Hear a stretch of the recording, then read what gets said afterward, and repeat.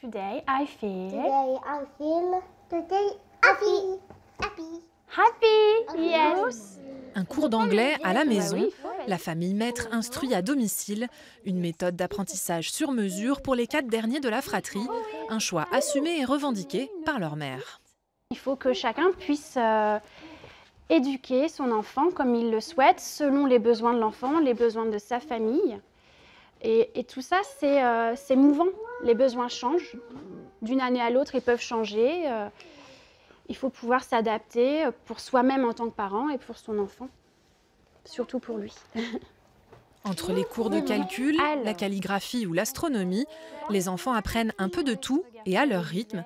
Le mercredi ou le samedi, Samuel et Timothée complètent leur apprentissage avec des ateliers Montessori à Vendôme, une autre activité à faire tous ensemble, et sur place, les maîtres retrouvent d'autres familles.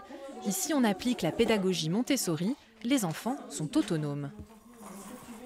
C'est vraiment au rythme de l'enfant, alors que bah, l'école, forcément, ils sont nombreux, c'est l'enfant qui doit s'adapter à l'école. Là, c'est une école euh, qui s'adapte à l'enfant et qui va, euh, à son rythme euh, et qui va par rapport à son développement. Je pense qu'un enfant, il apprend autant dans le milieu familial que, l'école. L'Amérique du Nord, elle va là. Aujourd'hui, 25 000 enfants sur 8 millions s'instruisent hors du système scolaire classique, une goutte d'eau dans l'océan de l'éducation nationale. Pourtant, les associations de défense de l'éducation alternative s'inquiètent de la mesure annoncée. Ce qui me pose question, c'est effectivement euh, si on n'a plus qu'une seule façon de faire qu'une- dans, dans un seul cadre, on est dans une espèce de monoculture de l'éducation. Les acquisitions précoces, elles sont pas forcément euh, mieux dans un milieu scolaire que dans un milieu non scolaire.